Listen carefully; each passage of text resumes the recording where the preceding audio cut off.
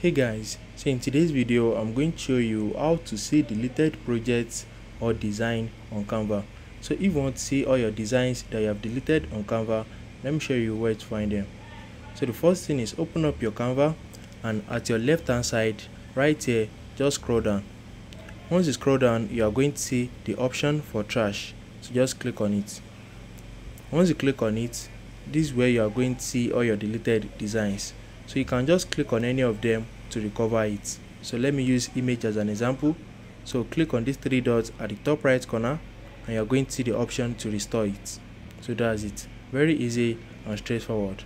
So if you found this video helpful smash the like button and subscribe to my channel for more amazing videos like this. Thanks for watching